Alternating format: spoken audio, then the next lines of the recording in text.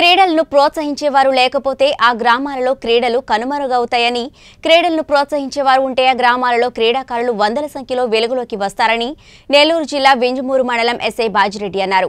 సంక్రాంతి పండుగను పురస్కరించుకుని వెంజమూరులో గల అగ్నిమాపక కేంద్రం ప్రాంగణంలో ఎస్ఐ బాజిరెడ్డి వైసీపీ కన్వీనర్ గువ్వల కృష్ణారెడ్డి ముఖ్య అతిథిగా పాల్గొని షటిల్ బ్యాడ్మింటన్ క్రీడా పోటీలను ప్రారంభించారు.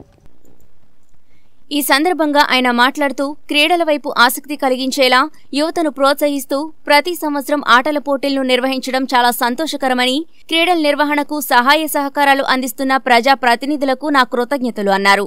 ఈ కార్యక్రమంలో వైసీపీ యువ నాయకులు జూపల్లి రాజారావు మద్దూరి లక్ష్మీ ప్రసన్నరెడ్డి గోవిందరెడ్డి అన్నపురెడ్డి శ్రీనివాసరెడ్డి రాజారెడ్డి పోలీస్ సిబ్బంది అగ్నిమాపక సిబ్బంది స్థానిక యువకులు పాల్గొన్నారు.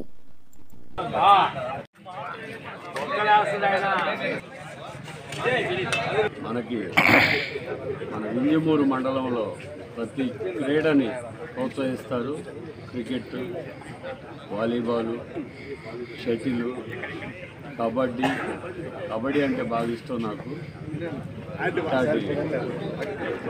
క్రికెట్ షటిల్ అనేది కొద్దిగా ఫాస్ట్గా ఉంటుంది.